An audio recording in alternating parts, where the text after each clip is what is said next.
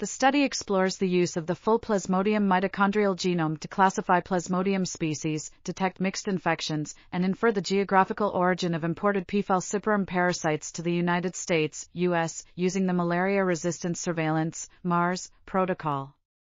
The study found that 94.7% of samples were identified as P. falciparum infections, while 5% were mixed species or non-P. falciparum. Additionally, greater than 18% of samples had at least two P. falciparum mitochondrial genome haplotypes, indicating either heteroplasmy or multiclonal infections. The study used maximum likelihood phylogenies to infer the geographical origin of 13 samples from persons with unknown travel histories as Africa, country unspecified, Ghana, Southeast Asia, and the Philippines.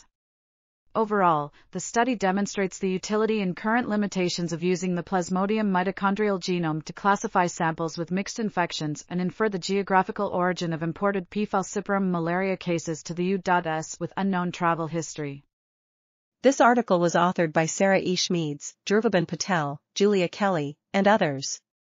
We are RTCL.TV, links in the description below.